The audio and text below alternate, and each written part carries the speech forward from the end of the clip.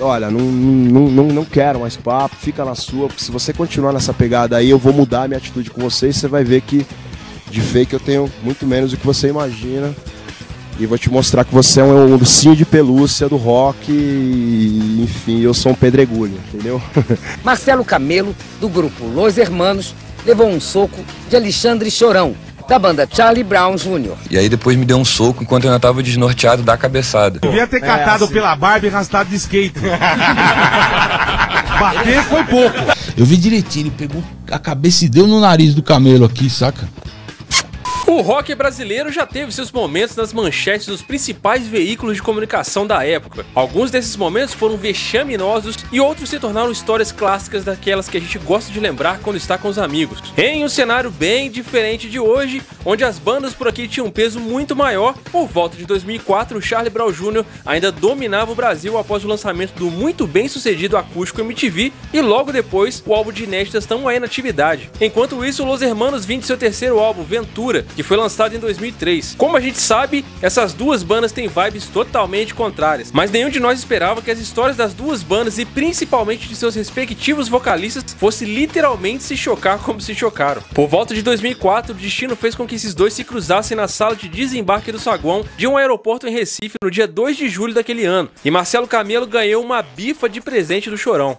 O Chorão, na real, nunca foi conhecido por ser um cara muito gentil, apesar de existir inúmeros relatos aí que falam que o cara tinha um coração do tamanho do mundo. O que é verdade porque existem muitos relatos e muitos fatos que comprovam que o cara era assim gente boa, apesar desse jeito estourado que ele tinha. Mas a real era bom não mexer com ele porque ele não respondia só à altura, ele respondia além. Mas fato é que o Chorão soltou um socão no Marcelo Camelo lá em 2004 cá estamos nós ainda falando dessa história até os dias de hoje. Essa história é bem conhecida e principalmente do ponto de vista do Chorão. Mas a questão que fica é o que realmente aconteceu até o ponto onde os dois chegaram às vias de fato. O que que existe nos bastidores dessa história que fizeram com que o Chorão chegasse a dar um soco no Marcelo Camelo? Quais foram os eventos ou situações que aconteceram na época que fizeram com que o Chorão chegasse ao limite desse jeito? Então hoje vamos destrinchar essa história aí mais uma vez, vamos voltar ao passado para lembrar de como isso aconteceu e qual era o momento do Chorão dentro do Charlie Brown Jr. naquela época para somar essa situação aí e chegar a esse ponto da história.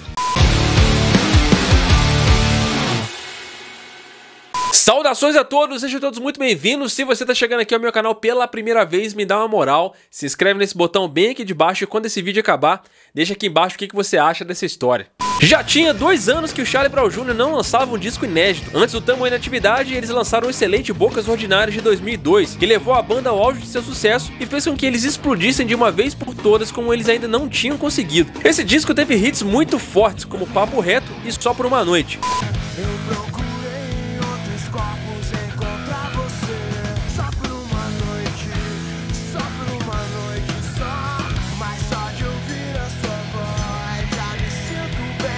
Embalados por esse sucesso, a banda, diferente da grande maioria na época que gravava acústicos para dar um up na carreira, decidiu fazer um acústico MTV que rendeu um disco de platina pros caras. Vendo por esse lado, é difícil de achar que alguém do Charlie Brown Jr. teria motivos para ficar de mau humor naquela época. E muita gente acha que o episódio com Marcelo Camelo aconteceu só por causa de uma declaração dele sobre o Charlie Brown Jr. ter aceitado participar de um comercial da Coca-Cola, onde teria rolado uma indireta sobre a banda se vender. Só que naquela época, ouvir o Marcelo Camelo dando umas alfinetadas no Charlie Brown Jr. tava começando a virar rotina.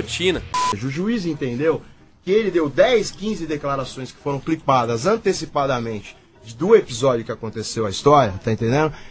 Que levou a gente a ter uma discussão. Só que antes dessa discussão, eu cheguei nele no VMB e eu quero que ele venha aqui e desminta isso, se ele é homem, tá ligado? Que eu acho que não é, mas eu acho que se ele pelo menos, enfim, se ele falar que é, tá ligado?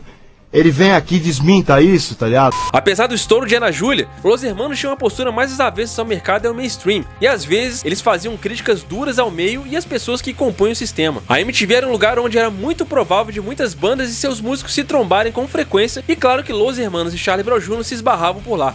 Houve um encontro na MTV, onde eu encontrei com ele, falei que aquilo estava me incomodando, porque enfim, a gente é de carne e osso. Falei, ó, oh, gostaria que você parasse de, de, de, se pronunciar negativamente ao meu respeito, até porque você não me conhece, você não sabe do meu passado.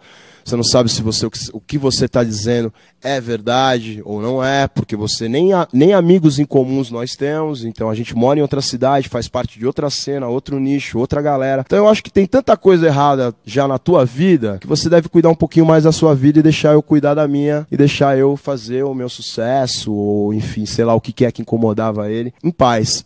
E com isso, o Marcelo Camelo chegou a ligar pro Chorão, dizendo que suas próprias falas tinham sido inconvenientes em um jornal na época. Mas isso não convenceu o Chorão de que o Marcelo estava sendo sincero. Eu falei aí aquele negócio da Coca-Cola e o cara entendeu errado, falou que eu disse que vocês se venderam pra Coca-Cola. O quê? Você falou mal de mim? Seu filho da Puta, não sei o que, na hora do, do, ídolo, do ídolo, passou pra isso. E a gente vendo tudo aquilo. No final do dia, ele pegou, jogou o telefone no chão, só acabou o ensaio. Não teve mais ensaio naquele dia. A resposta do Chorão para Marcelo Camelo nessa ligação foi xingar ele e jogar o telefone longe. Essa tentativa do Marcelo Camelo de tentar fazer a situação se amenizar desceu bem torto na garganta do Chorão. E o clima que já estava péssimo ficou com ainda mais tensão. Existe inclusive a participação do Charlie Brown Jr. em um programa da TV Cultura chamado O Ensaio, onde ele contou com vários detalhes o ponto de vista dele dessa história da época. E na verdade, quando eu terminei de elogiar ele pra caramba, ele falou: Não, mas eu te liguei. Mas eu falei: Mas e aí, o que, que manda? E ele falou assim: Olha, cara, eu, na verdade, eu, eu me pronunciei novamente negativamente a teu respeito num jornal de expressão, que na época era o JB, mas assim, foi super negativamente, mas eu quero que você pense isso, que é só para te ajudar, para fazer você encontrar o seu caminho, para você repensar a sua vida, porque eu só quero amor para você e tal. E eu achei aquilo de uma arrogância e uma estupidez Afinal de contas, por mais que o Marcelo Camelo realmente não tivesse dito exatamente aquilo que estava na revista, mesmo que os jornalistas tivessem mudado a fala dele, o sentido do que havia de informação ali dava a entender que o Charlie Brown Jr. tinha se vendido. E como a gente bem sabe, o Chorão se entregou à sua banda durante muitos anos e essa sempre foi a prioridade da vida dele. Então, falar mal do Charlie Brown Jr. ou da moral da banda era basicamente falar mal dele também. Se fome por causa dessa banda, o Thiago tá aqui do meu lado, ele sabe isso. Eu morei cinco meses numa casa sem luz por causa do Charlie Brown, porque minha família foi embora eu optei por ficar em Santos eu não tinha dinheiro para pagar minha luz, acredite se quiser, tá ligado? Então, a parada foi muito séria e tal. Então por isso que com essa banda eu falo que a banda é minha vida, porque eu já passei muita coisa por essa banda. A postura do Los Hermanos, de maneira geral, às vezes era contra esse tipo de coisa, contra o comércio, contra o mercado, contra propagandas e as indústrias afins do sistema. E nesse sentido, quando uma banda fazia uma propaganda para uma marca muito grande, na teoria queria dizer que a banda estava se vendendo para o mercado de alguma forma, coisa que o Los Hermanos fazia questão de dizer que era contra. E por isso que o Marcelo Camelo tentou dizer em sua entrevista deu a entender que o Charlie Brown Jr. tinha se vendido naquele momento. É claro que isso desceu bem mal pro Chorão.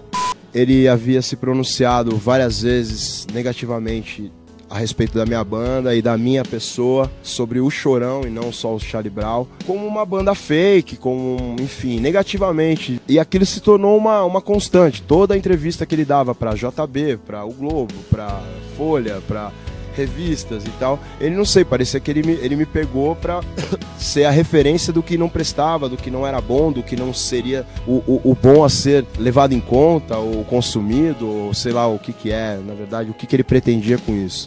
Em maio de 2004, Charlie Brown Jr. embarcou em uma turnê mundial. Os caras foram para os Estados Unidos e de lá para o Japão e depois a Europa, onde o Charlie Brown Jr. teve a oportunidade de tocar no Rock in Rio Lisboa. A banda dividiu o festival com bandas como Foo Fighters, Paul McCartney, Evanescence, Peter Gabriel e ainda dividiram o camarim com Kings of Leon. Apesar do sucesso da turnê e da banda estar tá arrasando nos shows mais entrosada do que nunca, nos bastidores as tensões entre Chorão e a banda cresciam bastante e o clima já não estava nada bom. Na época já não tinha mais aquela união entre o que antes era uma família. Agora era cada um em seu canto antes e depois dos shows. Com esse clima péssimo, se aproximava cada vez mais o racha que impactaria fortemente o Charlie Brown Jr. E eu só tô falando isso tudo para que você entenda que o Chorão já não tava no melhor clima do mundo, sentindo bastante pressão dentro da própria banda. Ele tinha uma personalidade forte e não gostava de ser contrariado, e fazia algum tempo que muitas coisas dentro da banda estavam incomodando ele. Naquele período, todos os membros da banda estavam conquistando seu espaço no Brasil ganhando bem, mas com sucesso vem também muitos problemas. A fama, a falta de privacidade e o alto grau de responsabilidade com os negócios da banda começou a gerar muito desgaste interno. Sempre rolou isso aí, né? Você pegar o Charlie Brown, acho que é uma, pô, é uma banda que teve, aconteceu também muitas essas coisas, né, meu? E chegou um momento que a gente falou, cara, o clima não tá legal, entendeu? Sabe? E aí aconteceram coisas também paralelas, com, envolvendo, porra, trabalho da banda, é, coisas que eram feitas sem o, sem o nosso conhecimento, entendeu? Então juntou uma coisa com a outra, tipo esse desgaste físico, mental de todo o processo que já desgasta mesmo, quem está na estrada sabe disso, juntou com essa questão também de, de, às vezes, de empresário, de gravadora, com negociações sendo feitas sem, sem a gente saber, entendeu? Quer dizer, óbvio que deu uma baita de uma confusão. E aí a coisa piorou, entendeu? A gente falou, pô, então vamos dar um tempo, tal, vamos, vamos acabar saindo da banda. Então isso aí realmente não foi legal. Acabamos saindo da banda. A situação dentro do Charlie Brown Jr. nessa época já estava muito tensa. Tava tão tensa que qualquer coisa corriqueira do cotidiano era motivo de briga e discussão dentro da banda. E muitas vezes, na tentativa de evitar conflitos e confusões dentro da própria banda, o Chorão pediu camarim e van separada para que nenhum atrito acontecesse. E por causa desse clima que tava na banda, naquele período ali, cada cara da banda já tinha sua própria turma dentro da equipe. E o problema é que a visão do Chorão pra banda era de entrega 100%. Na cabeça dele, o Charlie Brown Jr. era a única coisa que existia e ele trabalhou a vida inteira para que aquilo ali desse certo. Então, se você tava com ele dentro do Charlie Brown Jr., você tinha que se entregar 100% ao Charlie Brown Jr. Só que a visão de mundo de cada um é bem diferente. E com isso a relação da banda foi ficando cada vez mais desgastada e a pressão interna foi só subindo. E esse desgaste de relações, principalmente com a personalidade forte do Chorão, fez com que alguns membros da banda fossem para alguns outros projetos. Por exemplo, o Pelado chegou uma época a ter uma casa noturna, onde ele de vez em quando fazia umas pontas de DJ. Só que o Chorão queria que todo mundo fosse 100% entregue à banda. Então essas coisas incomodavam bastante ele, além de vários outros problemas que a gente sabe que surgiram depois disso aí. Otário, eu vou te avisar Intelecto de Eu vou fazer um jeito sou louco e canto mal, que eu não presto, que eu sou marginal.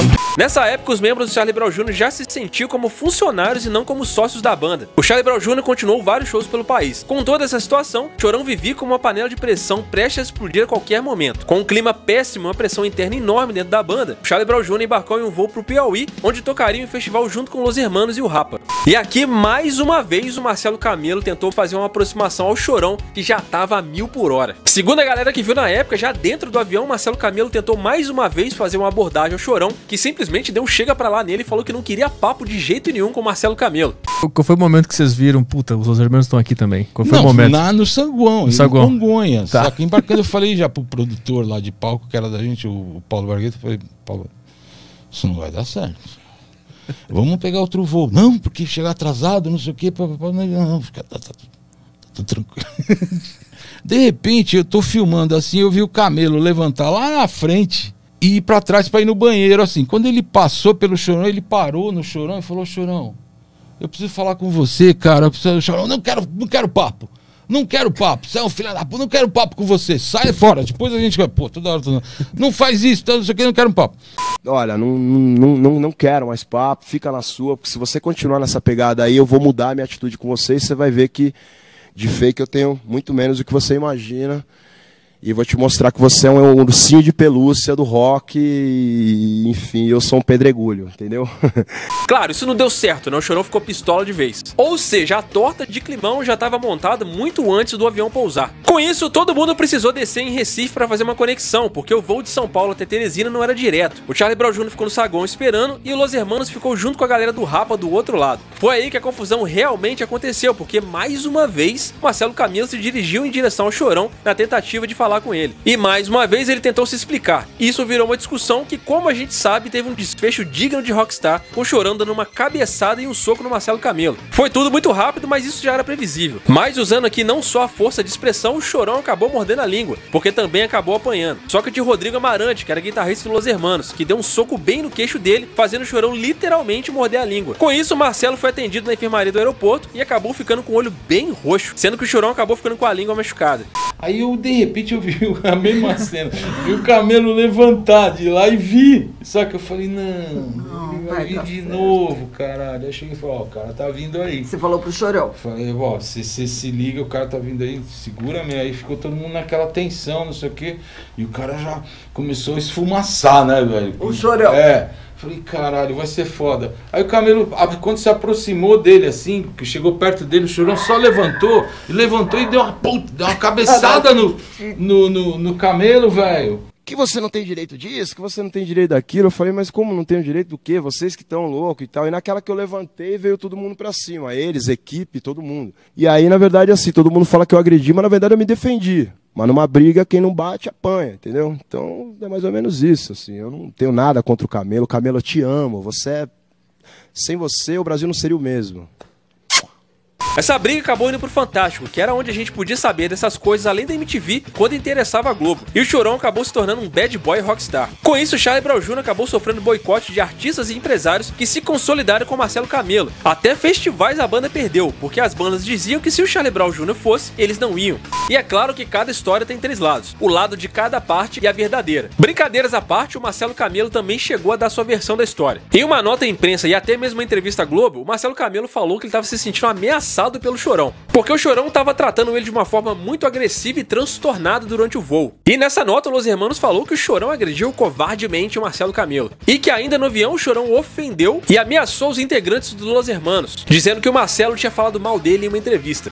Segundo Los Hermanos, as ameaças de Alexandre Chorão a Marcelo Camelo começaram ainda no voo. No aeroporto de Fortaleza, onde os dois grupos desceram para trocar de avião e seguir para Teresina, Marcelo foi agredido. O grupo Charlie Brown afirma seu respeito pelo Los Hermanos e garante que foi um incidente isolado. Na época isso aí virou caso de polícia, mas nada de fato aconteceu oficialmente. Marcelo e Chorão foram até a Polícia Federal na época, só que nenhum deles deu queixa por causa dos compromissos deles em Teresina naquele mesmo dia, já que só tinha voo disponível naquele dia e ele ia sair em 20 minutos. O cara ele emendou um baixo acertou aqui, ó. O chorão, o chorão mordeu a língua aqui. É. Ele ficou com a língua gorda aqui. Ficou, puta, mordeu a língua, ficou ruim. E ele saiu voado. Saca? Saiu, saiu pra. Que é o, O Amarante deu um murro E fugiu. e fugiu.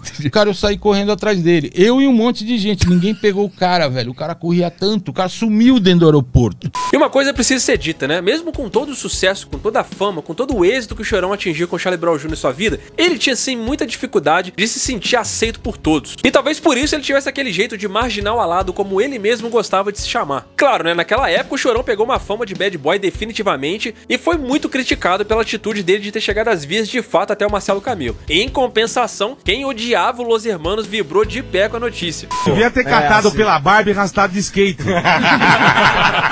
Bater foi pouco. O Chorão tinha toda aquela aura de ser ele mesmo onde quer que ele estivesse. Não era novidade nenhuma ver ele nesse tipo de manchete. E para que as pessoas entendam como ele chegou nesse ponto, você precisa entender que o bem mais precioso da vida do Chorão sempre foi o Charlie Brown Jr. O Chorão dedicou cada célula do corpo dele, cada minuto e cada energia que ele tinha para fazer essa banda dar certo desde sempre. Então falar mal do Charlie Brown Jr. ou da honra do Charlie Brown Jr. era dirigir isso diretamente a ele. Então, se você parar para pensar na situação que o Chorão tava naquela época, com todo o desgaste dentro da banda, um conflito interno muito forte, que a gente sabe que resultou num racha total da banda, onde o Chorão teve que tirar forças de qualquer lugar para manter o Charlie Brown Jr. vivo. Ter um cara falando mal da sua banda mais de uma vez, com certeza provocou uma pressão na cabeça dele que fez com que ele chegou às vias de fato aí. O cara já devia estar por aqui há muito tempo, e aí você falou do negócio que para ele é muito importante, que era a própria banda dele, né? Numa época onde se defender a honra da banda e ter essa atitude mais rock and roll era ainda uma característica muito forte de quem tava no meio. E apesar da atitude do Chorão de ter dado um soco no Marcelo Camelo ser errada, essa história tem um quê muito forte de rockstar. O Chorão com certeza foi um dos últimos artistas que conseguiu representar realmente o papel do que era ser um rockstar até aquele momento ali, né? A gente sabe que existem muitas histórias de bandas gringas que faziam coisa até muito pior do que isso aí, né? E nesse episódio aí que ficou na história do rock nacional, o Chorão se comportou legitimamente como um rockstar faria em qualquer tipo de situação.